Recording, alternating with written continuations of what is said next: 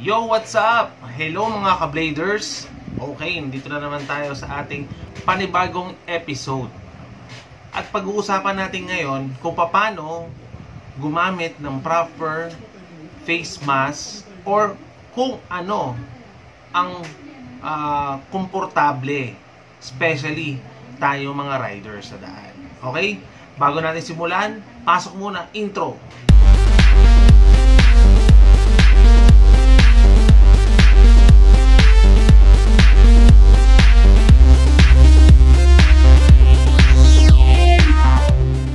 mga ka-bladers, yan, pag-uusapan natin ngayon uh, kung ano yung mga face mask na dapat gamitin natin or kung ano yung komportable lalo na tayo mga riders. Dahil ngayon ay pandemic na, kailangan na or hindi kailangan talagang obliga obligasyon na natin gumamit ng mga face mask. Okay, para sa aking experience, mga ka-bladers, uh, sobrang ang dami kong uh, pinagpalit-palit na, na mask, washable mask, surgical mask, kung saan ako komportable habang nakasuot ko ang aking helmet at habang nagra-ride. At doon ko iniisip kung safe talaga ako sa coronavirus. Okay, pakita ko sa inyo yung mga ibang iba't ibang klase ng face mask. Okay. Itong washable face mask, two layer siya. And tela siya yan, washable talaga siya. Then uh, ito, tube mask. Yan, sobrang familiar na tayo and lalo na pag sa mainit, ito yung mga ginagamit natin mga riders. Okay, balik tayo. Ito naman, shirt, surgical mask. Ito yung tinatawag na ear loop. Yan. And yung isa pa, ito hindi sila familiar sa iba eh. Okay. Surgical mask din siya. Ito po yung tinatawag na tie-on mask or tie-on surgical mask. Okay, paliwanag ko sa inyo isa-isa. Uh, try natin tong washable mask. Tapos susuotin ko din yung helmet. Yan. I-demo ko talaga sa inyo. Yan. Okay naman sa secure naman siya. Okay. Uh, salamat pala sa Team Gravity sa ibon natin. Yan. Yan. Sana mapansin tayo pag balang araw ng Team Gravity.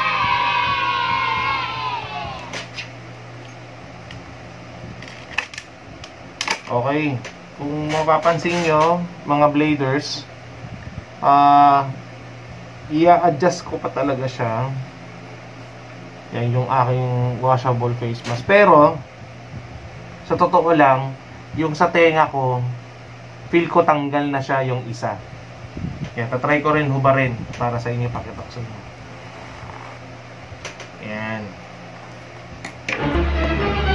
Oh Yan, no. Mapapansin nyo parang lumuwag na siya. Yan. Sigurado pag mahaba yung biyahe natin, sigurado matatanggal din siya. Yan. Yan yung isa sa mga uh, parang hindi ako komportable para maging safe sa daan. Okay? Try natin tong ear loop na surgical mask. Yan. Try natin.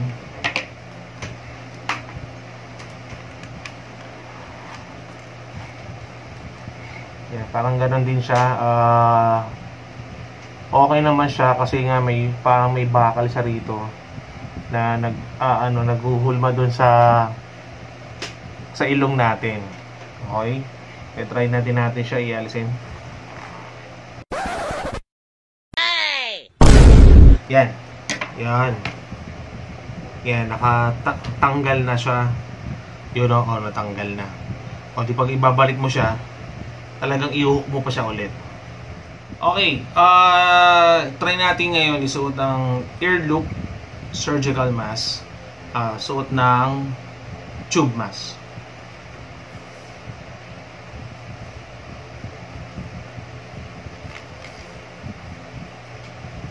Actually, okay naman siya. Uh, hindi lang talaga ako sanay dun sa ear loop. Pero try natin. Pakita ko sa inyo. Susot natin yung helmet.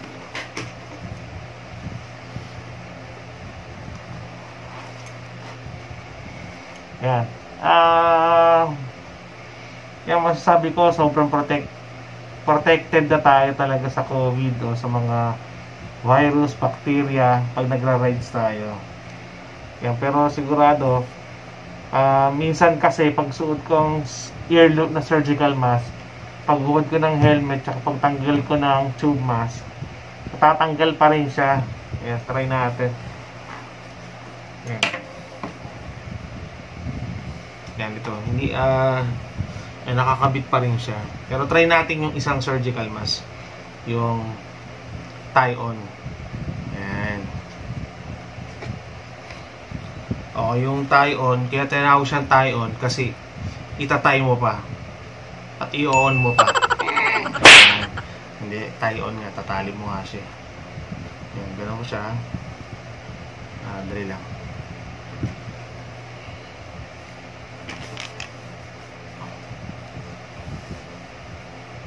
Oo, di ba?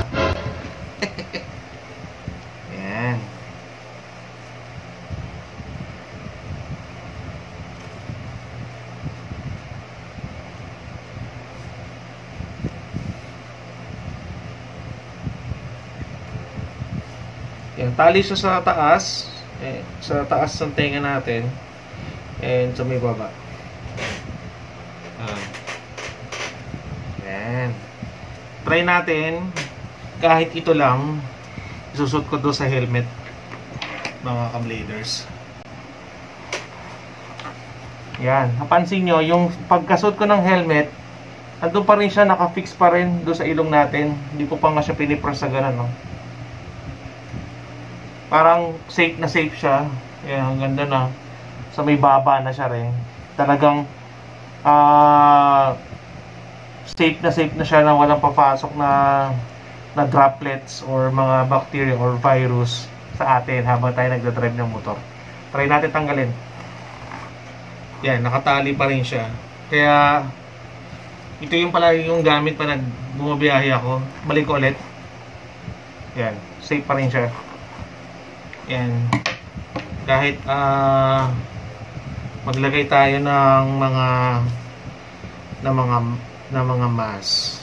Okay, ito try natin na magsuot ng washable uh, face mask gamit din itong ating uh, tie-on. Yan. Yan, nakita nyo yung face mask na washable. Parang bumaba siya. Kaya hindi ko talaga minsan pinapatungan na siya ng ng washable face mask. Yan, tanggal na. Yun. Kita nyo, tanggal na siya. Yan. Kaya mga ka-bladers, uh, yun yung difference ng yan, yung sa tie-on. Pwede mo siyang ibaba. Uh, kaya, yun, ito yung mabilisang review na nire-recommend ko sa mga especially sa mga co-riders ko na sigurado mas gamitin nyo itong tie-on mura lang lang siya ngayon sa online. Uh, as in mura lang siya per box. Uh, na buhay naman yung kapalit natin di ba? Kung yung ang laki nung igagastos mo pag yung buhay mo naman nagkasakit ka. Kaya ito tie-on uh, pag sinod mo din di siya fix din siya rito walang masyadong butas. Yan kesa doon sa ear loop na surgical mask. Yun lang yung observe ko pag nag, nagra-rides ako, uh, nasa work ako, pag nagsusot ako ng helmet, natatanggal siya pag ano lang uh, uh, washable face mask o yung ordinary face mask lang. Sayang naman pag nalaglag siya pag hubad mo ng helmet. Hindi kagaya ng tie-on, okay siya. Hindi siya natatanggal. Yan. Babalik mo na siyang ganyan, bababa mo na siyang ganun. Mas safe pa tayo. Yan. Ayan, dito na tayo nagtatapos and maraming maraming salamat. Don't forget to subscribe and click the bell para update tayo sa mga uh, next nating videos. Okay? And yun lang. Keep safe. Ride safe. and protect yourself. Yan. Maraming salamat mga kabladers.